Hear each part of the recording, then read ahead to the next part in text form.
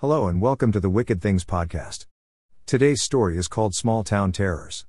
Locals have always gathered at the little roadside diner to share a cup of delicious coffee and usually some small town gossip. But there is something very different in the tales being shared today. After my death at the hands of the twin fishermen, I stand a silent, an unseen vigil in the small roadside diner. My unfinished task to offer witness to the tales of this small town in Florida called Port St. John. I watched as the young couple entered and settled in for dinner. The waitress approached as she usually does and collected their order. The dark haired young man in a gray t shirt and jeans leaned in and asked, What happened then? The heavily perfumed, athletic, blonde haired teen girl looked around and leaned in close to the boy. But the tale she offered was a warning. The following was the message I took away from the conversation I witnessed. The modern world holds many real dangers that would drive the general population to madness if they knew the truth of the unseen world. That simple truth is that we are all surrounded by creatures of myth and legend, but not all have rainbows and happy endings awaiting the brave or dumb. Belinda's story illustrates just how ignorant of the unseen world and rash thought can lead any of us to a bitter harvest. The front door to the small apartment bursts open as a frightened woman in her secretarial office wear enters weeping. Belinda turns and slams the door closed. Angel, where are you? We have to stop it. Her confused blonde roommate walks out of her bedroom in a nightshirt, half asleep, wiping at the crust at the corner of her eyes. What's with all the yelling? I was taking a quick nap. Belinda locks the front door and storms down the small hallway with light wooden flooring to Angel. It was real. It's all real. Angel combs her hands through her hair as she pulls her mane back into a quick ponytail. What are you talking about? What's real? Belinda grabs Angel by the shoulders and looks into her eyes with conviction. That website. Angel brushes Belinda's hand from her shoulder as a growing demeanor of disbelief builds in her facial expression. I told you the site was a goof. There is no such thing as real witches or magical curses. You're just overreacting to a bad day. Belinda wipes the building tears from her eyes. No, there is no way that this was just a normal bad day.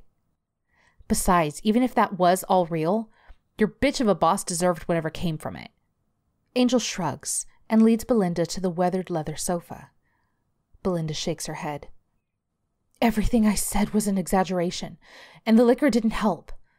I never wanted anyone to get hurt. Sit down, Angel demanded from her spooked roommate. Belinda settled in next to Angel and set her purse on the cheap particle board coffee table. So, what happened? Angel exhaled and offered a scrutinizing look to her roommate. Well, I got to work and everyone was in a panic running around shredding papers. I asked Ronnie, the maintenance guy, what was going on, and he said the whole office was under investigation for selling fake timeshares. Belinda shook as she spoke.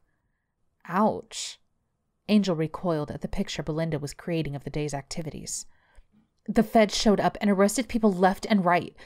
I thought I would go to jail after they questioned me about my job at the office. Belinda buried her face into her palms and sobbed. Belinda, come on now, quit crying and tell me what happened. Angel lifted Belinda's face by her chins while holding a compassionate look at her roommate's confession. Belinda took a deep breath. They took everyone but Ronnie and me away in handcuffs. Angel's look of compassion turned back to confusion. Okay, so you didn't go to jail? Belinda shook her head no. Angel continued her investigation. You didn't get arrested? Belinda shook her head no. Angel's confusion mounted. Were you fined? Belinda shook her head in defiance of her question. Angel stood and looked down at Belinda with a judgmental glare. So why the hell are you crying? Belinda wept again. I knew you wouldn't understand. Angel shrugged. What is there to understand? They arrested your bitch of a boss and those other dicks who gave you for illegal real estate deals. They're in jail. You're free. Belinda shook her head. But, but nothing. Things will get better, I promise. Angel flopped back down next to her very emotional roommate. Belinda's expression told Angel there was more to come. What? Just spit it out already. Angel exclaimed impatiently. They froze all the accounts, Belinda blurted out. So? Angel interrupted. Even payroll, Belinda offered. Leroy will understand you need time to get another job. We have never been late with the rent before. I'm sure it will be okay, Angel shrugged. Besides, he has a crush on me. Angel smiled as she leapt to her feet and started twerking in an effort to disarm her friend's emotional state. I'll just wiggle my butt and he'll agree to anything. Belinda chuckled through her tears and emotions. you would, you slut. They both laughed at the thought. Angel hugged Belinda. It'll all be fine. You wait and see. I got you. You and I will either fail or succeed together. Belinda smiled. You always know just the thing to say to get me out of my bad mood. Angel stands up and strikes a sexy pose. I'm a gorgeous bitch. Now, go get a shower. We're going out tonight. Pinto's Lounge? Belinda asked with a smile. Now go wash the stink off and let's go. Angel motioned for Belinda to shoo away. Belinda practically skipped out of the living room and made her way to her room to find clothes and get a shower. Hey, I think the bartender's nephew will be there tonight with his band. Angel spoke loud enough for her roommate to hear in her room. Belinda slipped down the hallway, clothes in hand, and entered the bathroom to shower and prepare for the night's fun to come. As she stood in the shower with the steamy hot water caressing her athletic frame, Belinda heard Angel enter her room and then walk to the living room. I'll be out in a few. Okay. Angel's voice echoed down the barren wood floored hallway. Belinda got out of the shower and toweled off. She paused, hearing the doorbell ring. Could you get that, Angel? Angel's voice responded through the cheap apartment bathroom door. Yeah, but hurry before I change my mind about going out, Belinda thought to herself. You had better not. I washed my hair. Twenty minutes had passed before Belinda emerged from the bathroom, surrounded by a steamy mist. Belinda gagged as she saw a haze wafting through the apartment, followed by the pungent odor of incense. Good God, Angel, what's that horrible stink? Um, Belinda, could you please come to the front room? Angel's voice called out. Sure. Who was that at the door? Belinda called out as she transversed the hallway to the front room. Belinda adjusted the belt of her dress as she entered the living room. Does this look okay? Belinda paused her entry to the living room as an expression of fear slowly filled her face. What the? She looked into the incense smoke filled room filled with people in long darkened robes. Rope bound angel, and sitting in the center of a ring of black candles on top of a quickly spray painted pentagram. Belinda, is there something you need to tell me? Angel asked. I thought you said the site was a fake, Belinda blurted out. A single robed figure stepped forward and pulled a long, serrated Bowie style camp knife from out of his sleeve. You ignored our calls about the bounced check.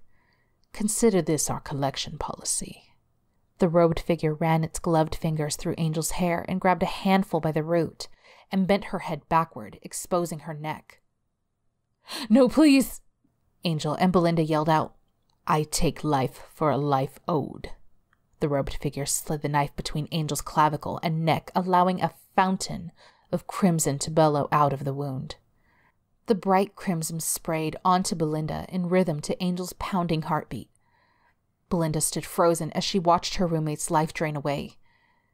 Angel's eyes slowly glazed over, and her body collapsed to the floor, following the last winding droplets of blood oozing from her wide open wound. Belinda stood motionless, unable to find her voice. The robed figure stepped across the slowly growing pool of her roommate's essence. The pungent metallic smell of blood mixed with the odor of the incense. The robed figure stopped in front of Belinda as her eyes widened. The blonde girl stopped her story as the young man across from her chuckled. Well, that's the way I heard the story. Dan stood up from his booth and walked out of the diner, followed by the blonde. Outside, Dan stopped and turned to face Daphne. Who told you that's how it happened? Daphne shrugged. I think it was Gail. Why? Dan opened the trunk of his car. Daphne looked in with surprise and horror. What the?